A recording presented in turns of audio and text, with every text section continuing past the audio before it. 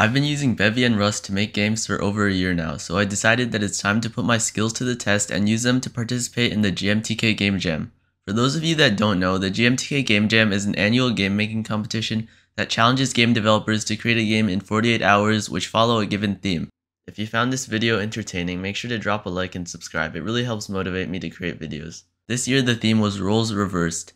As soon as the theme was announced, I started to brainstorm and come up with an idea that I thought was pretty unique. So you know how in a usual game the player plays as a hero, sometimes a human, who shuffles through dungeons killing all monsters on sight? Well I'm going to be doing the reverse. You play as a monster who attempts to kill all the humans that you see on sight. Now you might be thinking, isn't that just the same gameplay but with different sprites? Well you would be wrong, because in my game the humans will be defenseless and trying to escape from the monster which is more realistic in my opinion. The player will then attempt to kill all of the humans before they escape. The art style that I decided to go for in this game was hand-drawn 2D because I thought it would be a nice change of pace from the usual pixel art games that I make. So I dug up a drawing tablet that I had tried and failed to use when I was younger, pulled up Photoshop and got to work on creating the player sprite. It took a while for me to get the hang of, but I think I did pretty well for not having made any hand-drawn 2D games. The character that I drew was not meant to be imposing and large. I wanted to at first trick the player into thinking it was weak, but then when the player sees how small the humans are, they become aware of its actual scale. After I finished drawing the main character, I plopped him into the game and started tweaking his movement. I'm really sorry about the FPS of the current recording because I accidentally forgot to change the maximum FPS settings in OBS before recording this. The tile editor that I'm using for this game is different from what I usually use. In all of my past tile map based games in Bevy, I've used LDTK or the Level Designer's Toolkit. Although user friendly, I quickly found out that this editor is only really suitable for pixel art based games as high resolution tiles freeze the editor. So I switched to tiled, which itself came with a bunch of headaches and had me spending the entire first day on fixing collision issues which still persist in the final release of the game. I'd like to take note that the first day of the game jam had already ended and I had accomplished nothing but a basic laggy platformer controller. I ended up staying up until 2 o'clock both days due to the time that had been lost from switching tile editors. On another note, I had added a cool parallax effect, which added some depth to the art in the game. Now I don't know if this is Tiled related, but if you look in the bottom left corner, our FPS is skyrocketing. It's reaching levels above 1000 and that's with many applications open such as Photoshop and OBS Studio recording the whole thing. With LDTK I had a maximum of 500 FPS but this could also be due to the updated Bevy version. Others might point out that we don't even have a completed game yet, but I'd like to disclaim that the final release of the game still had around a consistent 1300 FPS on my computer. I decided to change the color of the background to purple because it was a lot less jarring than the red that had dominated the scene prior. It was finally time to add a way to change levels. This presented another headache as I had to adapt to the tiled editor which contained tile maps in many separate files, unlike the unique room structure of the LDTK tile editor which was completely contained in one file. I also added a tunnel system, which basically teleported the player in between several doors to add that extra level of depth to the gameplay. I thought this would make the game a little bit more unique gameplay wise. At the moment, it just awkwardly snaps the player to the other location or level without even playing at least an animation, but that will be fixed later. I created an animation for when he enters the doors and I think it looks pretty good. This sprite will be black when he's entering and it will just be normally tinted when he's exiting. You can see this in action right now and I think it looks pretty smooth for not having any other transitions but the animation. I think this is a good time to discuss exactly what the art direction in this game is going to be. You can tell that I'm going for more of a cartoony art style, which is inspired by Flash games. I think they are unique due to their simplistic style and cartoony art. I don't know why, but the art style in Flash games have always appealed to me in a strange way. This is the start of the first level and you can see that it is completely empty except for a few NPCs that are supposed to give the player direction on how to play the game. But for now, they're just silent and non-programmed because I haven't gotten started on this level yet. You can see that there's a certain degree of slipperiness and acceleration that the player obtains when moving around.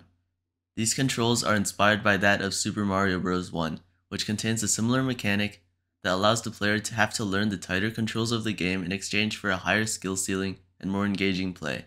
I'm hoping that adding this mechanic will make players panic when the humans are very close to escaping and they're stuck on a platforming segment. Now it's time to add NPCs to the game, or non-player characters which will be responsible for in-game banter and let the player know what's going on. They will also help them figure out what exactly the goal of the game is, along with how they should go about achieving it. I added an interact text which will hover over the NPC when they are close to the player. Ignore that I spelled interact I N T E R E C T. This gets fixed later. Another thing that the NPCs will do is turn to face the player when they talk, which I'm hoping makes the player feel more like they're in the world. You can see that there's at least one or two NPCs in each room that give the player direction or just banter with them. There are particularly a lot of NPCs in the first level because the player needs to know what's going on and they're going to explain to the player what exactly he's going to do. I also added yellow directional arrows which will tell the player what path the humans will be escaping from. If you are wondering why the arrows show they are hovering on the air, I will later add tiny ladders or small bridges visually which the NPCs will explain the player cannot use due to their size. If we take a time check, it's already 7 o'clock on the second day of the jam, and I had only 17 hours left for the jam. This was including my second night of sleep. I decided to go hardcore and stay up until 2 because it was the only way I had any chance of finishing on time. Now it's time to explain how I added humans into the game. They are the core mechanic of the game and I think it's better to show you in the editor rather than explain while the gameplay runs. You can see that I've created two different categories of objects represented in object layers. Human spawners and human paths. The human spawners are given two properties, one being count which is the amount of humans that they will spawn until they stop spawning. The other is ID, which will help the human paths decide which spawner they belong to. The human paths are basically nodes that represent a path of positions that the humans will go to one by one until they reach the last one. Once they reach the last one, they are counted as escaping. These paths are given an index and ID component.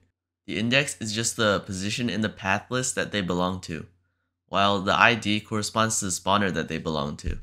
I'd also like to note that these ladders and small bridges that you see, you can't use those, only the humans use those, so they don't really collide with you. This is hinted at by the NPC in his dialogue, which tells us that it's a shame we cannot use their tiny ladders and bridges the same way they cannot navigate our tunnel system. I'm sorry that it doesn't show up on screen because OBS only renders one window. With this done, all that had to be done was to lock the player into the room while they are dealing with the humans. I did this by adding a barrier at the end of the level which would only stop detecting collisions with the player once they had devoured all humans and let none escape from their grasp. Once this barrier is down, the player can enter the door and be transported to the next level. You may have noticed the effect that occurs when the player kills a human and how they fall like paper down from the screen.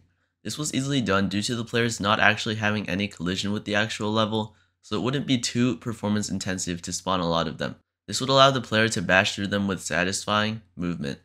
I also meant to add camera shake and particle effects to the game, but considering I had stayed up until 2 to cram the core mechanic into the game, Level design was my top priority here. This first level is designed to teach you about the platforming of the game, as well as how to actually play a level. It relies more on movement than anything else other than entering a tunnel. Another thing to note is the UI on the top of the screen which shows how many humans are left and how many humans have escaped. It's pretty crude, but that's because I was lacking time. But it does the job, so I'm not complaining. The second level is a more methodical level. It doesn't really require that much skill. You just have to enter each tunnel and run through them. But I guess it introduces the player to the mechanics of how they have to really think about how to approach each level. I'll fast forward each level once I explain them because I don't want this video to be 11 minutes long. I'll admit that the third level is actually kind of difficult. There are 750 humans in all and they all come from below the ground, so it's hard to bulldoze through them because gravity acts on you while you're doing so. I don't even beat the level in this recording. I've beaten it once, but it's really difficult, so I don't really beat it in this recording. With that being said, if you liked the video and it entertained you or helped you in any way, make sure to hit that like and subscribe button. Have a good day.